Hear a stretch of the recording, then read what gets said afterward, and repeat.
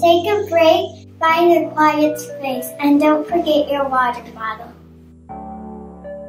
I've been working a little with them with some mindfulness based exercises and breathing exercises, meditations. One hand on your heart and one on your belly. Then take long, slow, deep breaths. I like mindfulness because it helps us to be focused. The idea is that students will sit for about a minute or up to three minutes and just focus on one thing, like the breath, for example, breathing in through the nose, out through the mouth. I can relax. Improve their attention, their focus, to help them to be more self aware, to think about the decision before they do something, to be more present, to be more in the moment.